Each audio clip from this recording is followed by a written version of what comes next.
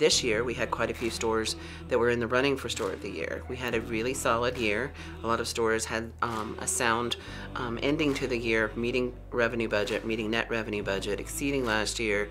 So it was a great year to have everybody in the running and having to really narrow it down was just a tough decision.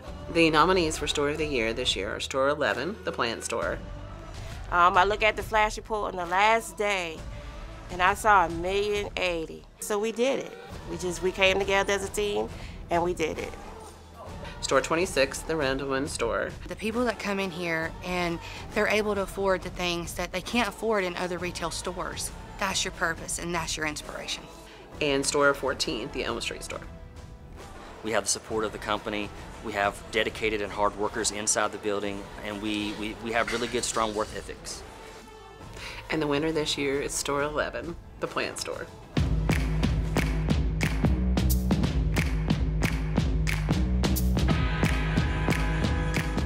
What made this store special is all the customer. We have some customer that comes two, three, four times a day just to see what we put out. And what makes it also special, we have another store that is connected.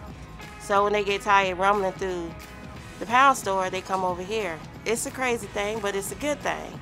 Well, I know for a fact that Sharon inspires me every day. We have several like that, but she's one of the managers who, I mean, they come in, they do their work, they rarely complain. I won't say never, but she rarely complains. And she knows every day what she has to do. She has a plan of attack. She communicates it with her team. And nine times out of ten, she always has a smile on her face. Store 11's success this year has everything to do with their teamwork. It starts from the leader, Sharon. They've got a rock solid team. They pull together. They work really hard together to make everything happen. And I have to say that that is the most important thing to being um, Store of the Year. I have a strong team. Um, my assistant manager great.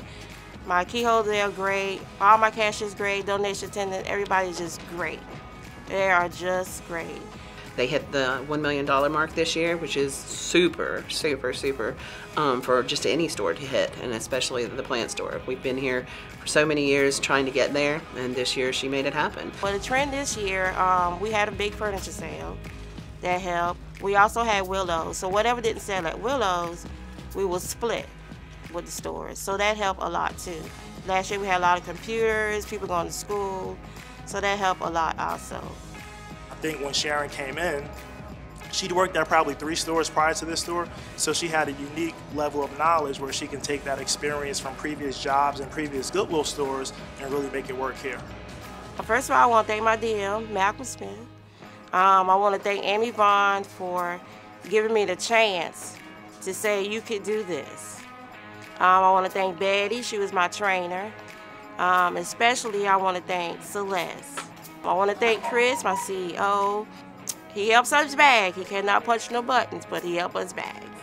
So I just want to thank the whole Goodwill Corporation. I thank you. We are inspired.